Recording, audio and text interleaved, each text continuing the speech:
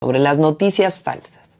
Han estado diciendo, lo hemos visto en las redes sociales y además me ha preguntado gente cuando estoy en distintos lugares de la República, dicen, imagínense nada más la mentira, que vamos a cerrar iglesias cuando ganemos la presidencia.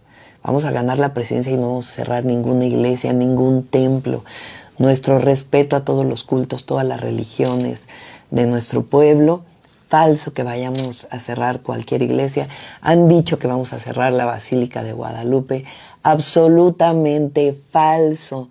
No crean esas noticias. También que nosotros vamos a cambiar la constitución para que no haya propiedad privada en nuestro país. Otra absoluta falsedad. Respetamos la propiedad privada. ¿Qué más han estado diciendo? Que yo tengo tatuajes de la Santa Muerte no sé qué cosa. Falso, absolutamente falso. También hay muchos videos con inteligencia artificial donde ponen mi voz y dicen que estamos vendiendo, eh, creo que acciones de Pemex o algo así, a cambio de que depositen dinero falso. Por favor, no lo vayan a creer. También han estado eh, yendo con personas con chalecos de morena que ofrecen dinero a cambio de que entreguen la credencial de lector.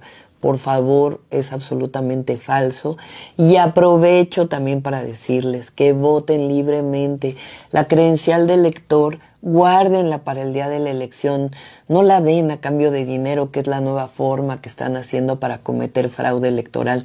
Lo que quieren es que no salgan a votar, porque saben que la gran mayoría del pueblo de México está con nosotros, está con la cuarta transformación. Entonces, por favor, cuiden su credencial de elector.